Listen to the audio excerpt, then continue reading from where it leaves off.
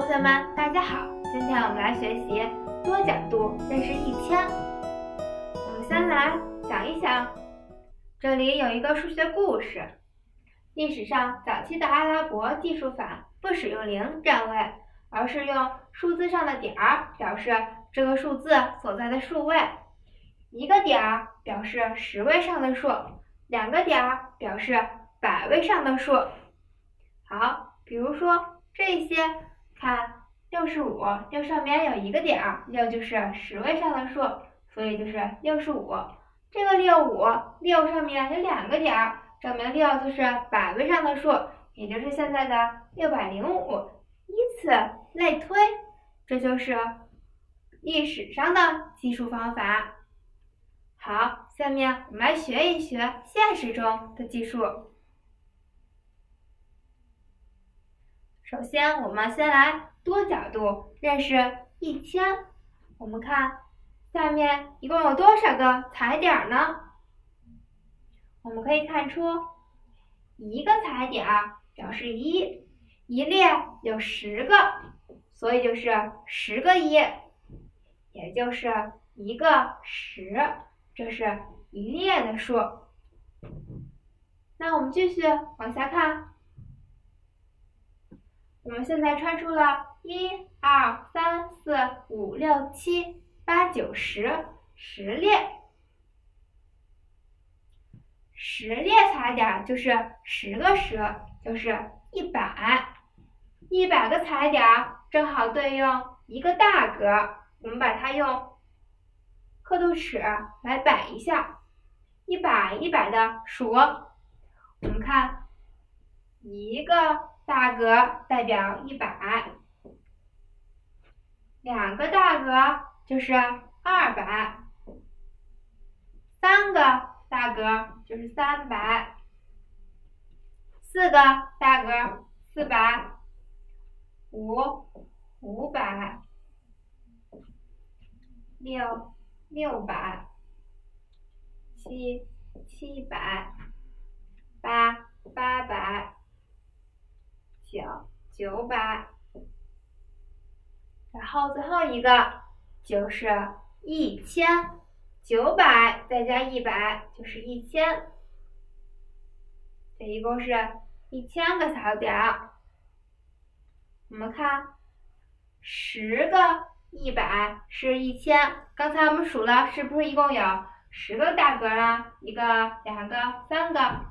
四个、五个、六个、七个、八个、九个、十个，一共有十个大格，所以十个一百就是一千。同学们再观察一下，还能看出什么来呢？有的同学说，我发现九百和一百合起来是一千。我们看最边上的一百，还有这里边的九百，它们俩合起来是一千，对不对呢？对的。是对称的两个数合起来是一千。还有同学说，我发现八百和二百合起来也是一千。我们来观察一下，八百和二百也是对称的，它们俩合起来也是一千。同学们，你们都发现了吗？好，我们来看千和百之间的进率是十。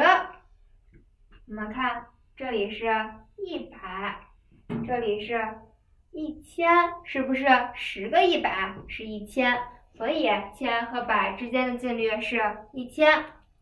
好，下面让我们来练一练，填一填，十个几是一千呢？刚才我们算了，十个一百是一千。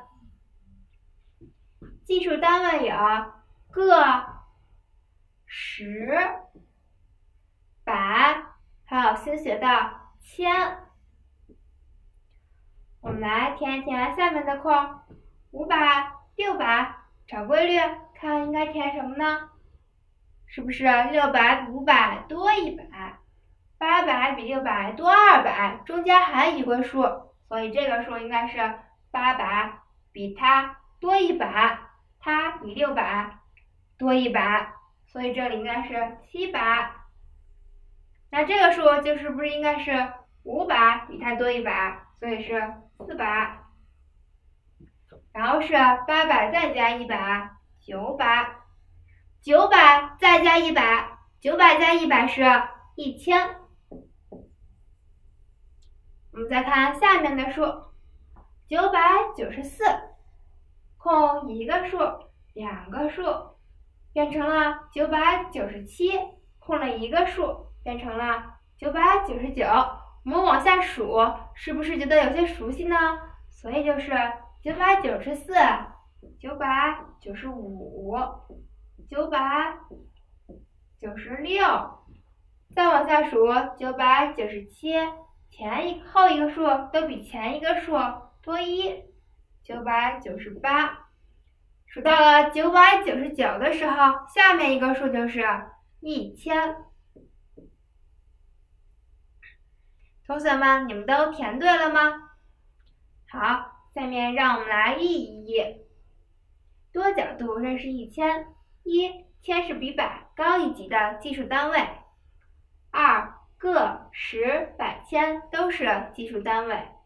三十个一百就是一千。四一千里面有一百个十。五相邻计数单位之间的进率都是十。好，同学们，今天的课就到这里了，再见。